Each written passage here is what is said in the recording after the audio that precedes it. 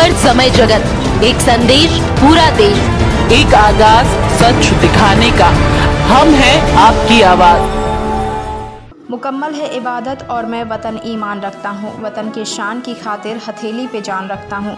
क्यों पढ़ते हो मेरी आँखों में नक्शा पाकिस्तान का? मुसलमान हूँ मैं सच्चा, दिल में हिंदुस्तान रखता हूँ। सुनीता मनोज, राजपूत सदस्य, जिला पंचायत गौरहरी की ओर से समस्त देशवासियों एवं प्रदेशवासियों को स्वतंत्रता दिवस की हार्दिक हार्दिक शुभकामनाएँ एवं बधाई।